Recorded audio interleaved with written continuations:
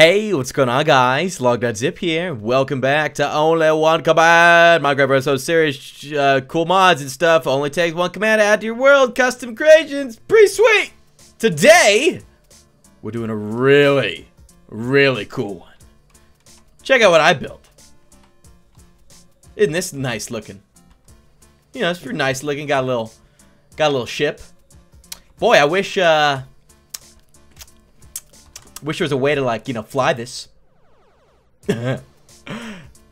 I wish there was just some way to fly this thing. Perhaps it only would take, oh, I don't know, one command to do it! Oh my god, flying ships! Look! Actually moving! We're moving right now. We're actually moving. I present to you Mr. Garretto, with only one command, has created Archimedes ships, flying ships that you can build yourself and actually fly around with using only one command. It's it's honestly it's insanity. I'm going to show you the different building supplies you can make with your ships. You can make ships with rather as well as everything you're going to need to get this baby floating off the ground and all the controls involved in making it. Check it out. Your ship due to a suggestion by me, yours truly, decided, you know, your ship probably needs some storage space. So now it didn't. It didn't like 20 minutes ago, but me and Mr. Garretto, we on the same page, baby. I added, I made him change it to mules. I don't really know anything. I'm talentless, but I, I know how to suggest things. Either way, we gonna get into this right now. I hope you enjoy this Only One Command. If you do and you want to see more Only One Command on the channel, then thank you so much for dropping a like rating on the video. If we can get 2,000 likes for this awesome thing, I don't think that's too much to add. Oh, you got flying ships, man. Look. It flies. It's currently anchored to the ground right now. That's what that means. So uh, thanks for leaving a like on the video. Thanks for subscribing for future Minecraft videos, including more Only One Command as I bring them to the channel. And uh, without further ado, you're going to need a couple things before you begin, my friends. First of all, we're going to go ahead and get rid of this thing. And you can see over there, oh, there goes the anchor. He's gone. Now, what you're going to need to grab yourself a command block, which you can give yourself by doing slash give at PCOMM. Press tab, press enter on your keyboard. You get a command block by doing just that. Also, grab yourself a redstone block. And then finally, find the command in the description of this video by going to, that is the wrong command. Sorry about that. By going to the link in the description of my video that leads you to Mr. Garretto's channel, and you'll be able to find the command in that description. So, once you've added all that in, go ahead and put the redstone block down next to that. And you can see, we're back anchored again and you now have Archimedes airships created by Mr. Garretto. You can right-click the sign to get rid of it. Now, there are a couple limitations you need to keep in mind when you're making your airships, and we'll cover them right now. So, there are a couple limitations involved before you build your ship that you need to know about, otherwise it's not gonna work. So we're gonna cover those right now. First and foremost, your ship must fall within a 9 this way by nine this way. These are blocks I'm talking about. By eight up and down. It's got to be 9 by 9 by 8. That is what's going to allow the command blocks to pick up the fact that you want to turn this baby into a ship. In addition, this is like the ship control panel block, which we're going to cover in further detail in just a little bit. But it pretty much needs to be centered in the center of your ship. And not only that, but there are a couple limitations involved with this guy as well. You can have up to one, two, three, four, and then one, two, three, four on either side of the ship. So for example, even if even if your ship was let's say even if your ship was seven blocks tall or seven blocks wide or what have you, if you placed your like control panel right here, you'd notice one, two, three, four. I mean, no, okay, it's five.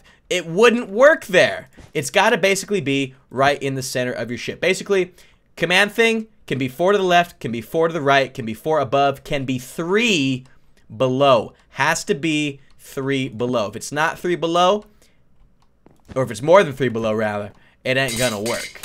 So, once you've built within those limitations, you'll also need to know that there are only specific items you can create your ship out of. That is the oak wood planks, the regular stupid old wool, oak fences, and ladders. That is what you have to keep your ship made out of. Sorry, I like banging on things. If you build it with anything else, it's not going to work. I'll give you an example, but not yet.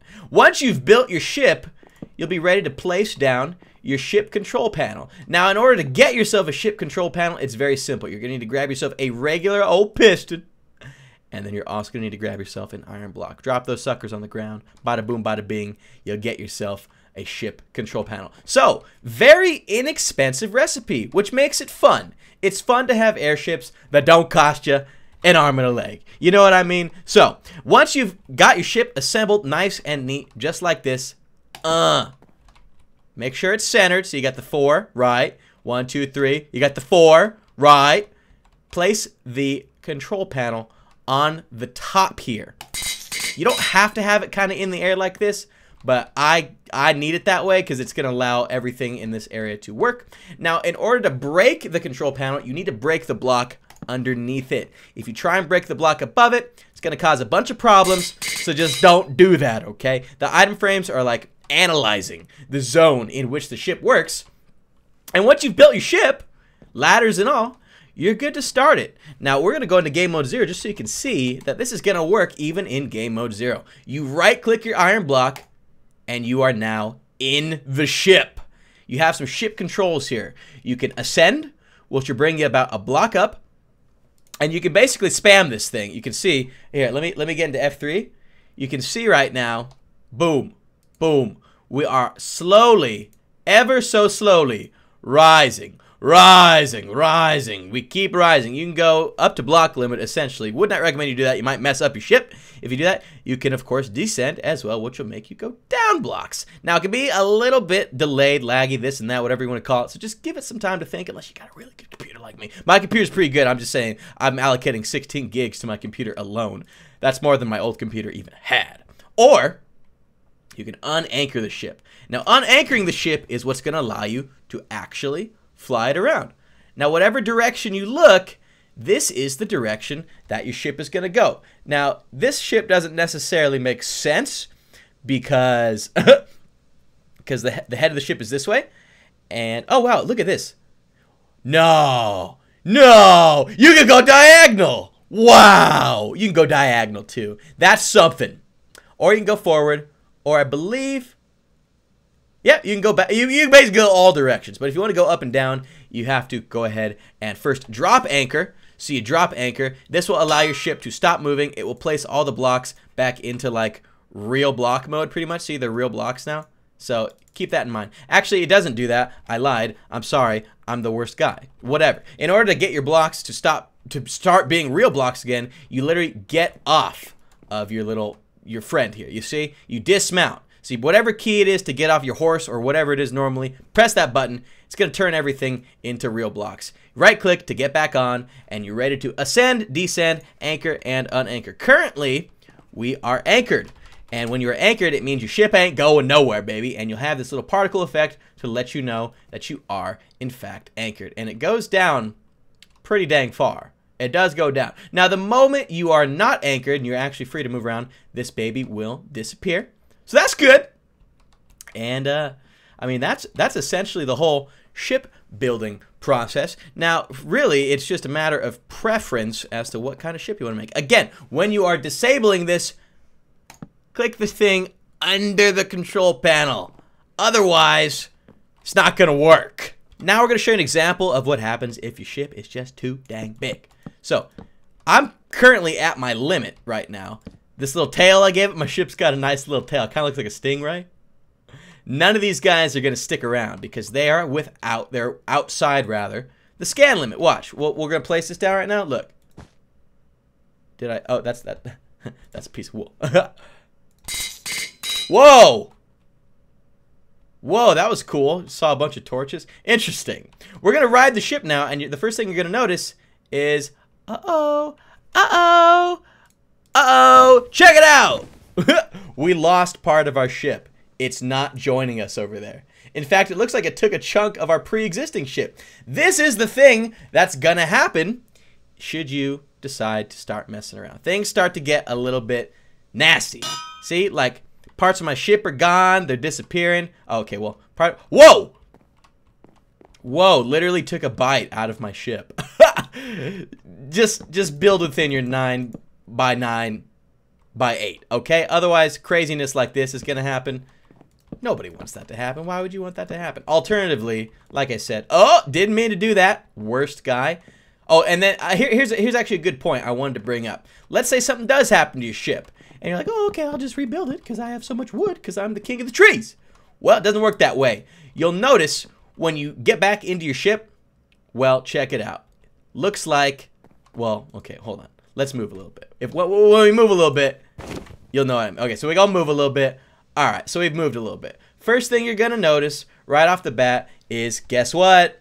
The blocks that you just placed again didn't stick around. Why is that? Well, I don't know why, but all I do know is how to avoid doing that. And that is quite simple. When it is time for you to rebuild your ship, because you messed up, like I told you you would, first thing you gotta do is reset the control panel. It's as simple as, again, breaking the block underneath it, placing it back on, just like that. Your ship is now ready, working, and is not gonna fall apart on you. You can see, we're gonna get back to moving here.